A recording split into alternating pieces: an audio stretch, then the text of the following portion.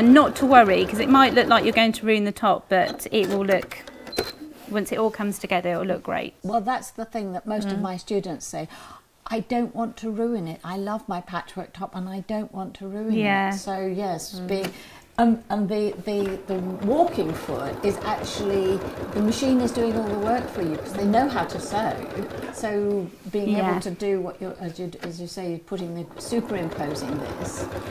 And I think everyone has to remember that this is not permanent pen, they're stitches. Worst case scenario, get your seam ripper and just rip it out.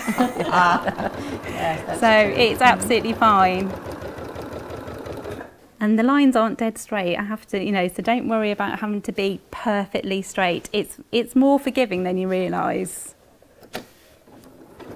And I think when you're using pattern fabrics as well, it tends to blend into it. So yeah. yeah, yeah, yeah, yeah.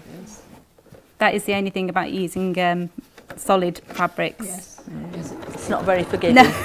no, no. But that's true of a lot of the modern quilts, the, the beautiful model quilts that you, you've made. You've got a lot of uh, negative space, open space that isn't patchwork. Yes.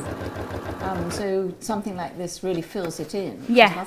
Yeah. I think that's what kind of draws me to those kind of designs is that I love this side of um, making a quilt. And I know a lot of people kind of shy away from this side, don't they? Um, well, I feel, I think, I think there's been, yeah, they feel that they can't do it. It's a learned yeah. skill, but actually they've made the whole top, so they've yes. sewn it. I think that's harder than yes. actually this part. I think it's just getting over the mind block of I've got to go over the whole quilt. I could hurt this quilt yes. from doing this, but yeah. as soon as you relax into it, it's absolutely fine. You know, you'll be fine.